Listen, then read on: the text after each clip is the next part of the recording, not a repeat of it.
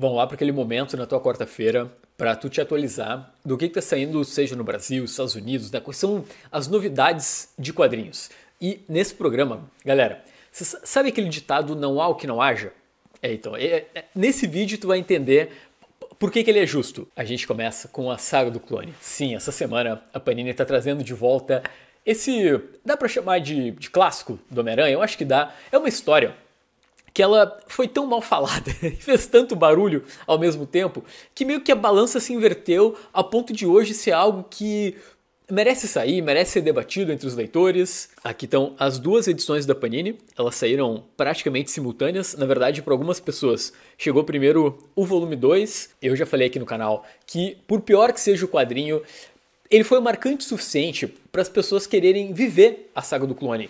E eu vou testemunhar, são 18 volumes ao todo para Panini publicar. E vamos lá, uma pequena aula de história. Nos anos 70, a Marvel publicou a chamada Saga Original do Clone, onde o Peter encontra um clone, aparentemente esse clone morre no final lá da história, e aí nos anos 90 a Marvel resolve resgatar a ideia do clone. O grande problema desse evento foi o sucesso bombou, bombou, bombou, o suficiente para eles irem esticando, esticando a saga do clone e aí virou uma bagunça. E tu quer saber o tamanho dessa bagunça? Lá fora tem um site que fez uma, uma métrica. São 164 edições uh, originais norte-americanas, algumas duplas para fechar toda a saga do clone. Foram mais de dois anos de publicação pela Marvel. Né? A princípio, a Panini deve publicar em 18 edições, então deve dar alguma coisa como um ano e meio. Isso se a Panini for publicar tudo, porque tem a fase Peter Parker e tem a fase Ben Riley. Recado do nosso redator Érico Assis. É, se você vai colecionar, saiba do seguinte: é ruim, ruim, ruim, muito ruim. Essa semana também a Panini está publicando The Walking Dead, edição número 13, que não tem nada tão especial especificamente sobre esse volume, né? Vocês devem estar sabendo que a Panini está republicando os compilados de The Walking Dead, mas o que é interessante aqui é que essas histórias elas saíram originalmente em 2010, o ano em que estreou a série de TV de The Walking Dead.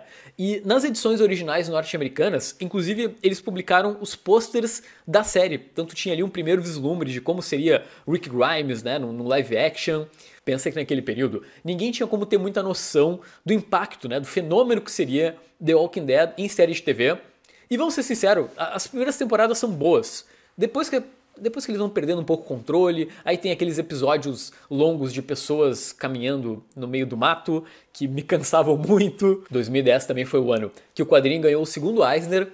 E eu gosto muito das histórias desse volume 13, porque mostram o Rick em Alexandria, seria um, um último bastião da sociedade como a gente conhecia, né? Eles não, eles não têm aquela vivência que o Rick tem, e isso vai criar um impacto dentro da história. Vai dar tudo errado com Alexandria?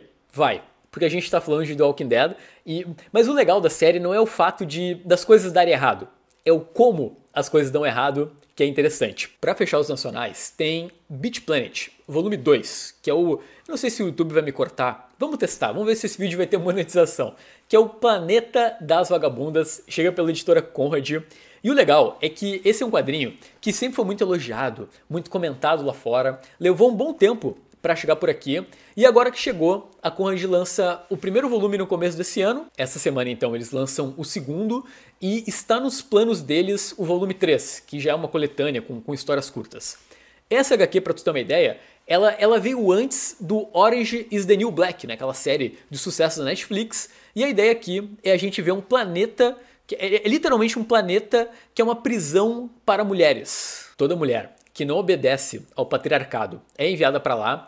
E no volume 1 a gente vê uma revolta rolando nesse planeta, e aí no volume 2 a gente vai ver as consequências dessa revolta. Os autores, que são aquele Sul Deconic e o Valentine Delandro. Eles deram uma pausa na série, já tem algum tempo, mas sempre aquele Sul fala que não, vamos voltar, vamos voltar, e até agora Beach Planet continua parado lá fora. Tá, lembra que eu falei no começo do vídeo que eh, esse programa ia provar que não há o que não haja. Pois então, vocês devem lembrar que nos anos 80 a DC promoveu uma votação entre os leitores para saber se o Robin morria ou não nas mãos do Coringa. Né? O Robin Jason Todd, o segundo Robin, e a galera resolveu votar pela, pelo sacrifício daquele jovem garoto. Só que nessa época eles chegaram a produzir duas edições uma com o Robin morto e uma com ele vivo, né, pra, dependendo ali da votação da galera. E aí no final do ano passado, a DC finalmente publicou o que seria o gibi que o Jason Todd sobrevive. E aí essa semana eles estão lançando o que seria pegar o, sabe, pegar o bagaço da laranja e chupar até, sei lá, não sobrar nada dos cofres da DC. Morte em Família, Robin Vivo número 1.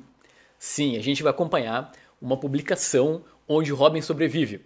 Né? Segundo o preview, o Coringa, inclusive, morre na, na, nas primeiras páginas desse quadrinho. A minha vontade de ler isso é tipo menos um. Né? Cara, é o mercado norte-americano. Os caras eles têm espaço para lançar todo tipo de gibi. Né? E, e muita gente até usa esses acontecimentos como olha que absurdo, a DC e a Marvel só vivem de coisas do passado, que de certa forma em partes isso até é verdade, mas não por conta desse gibi.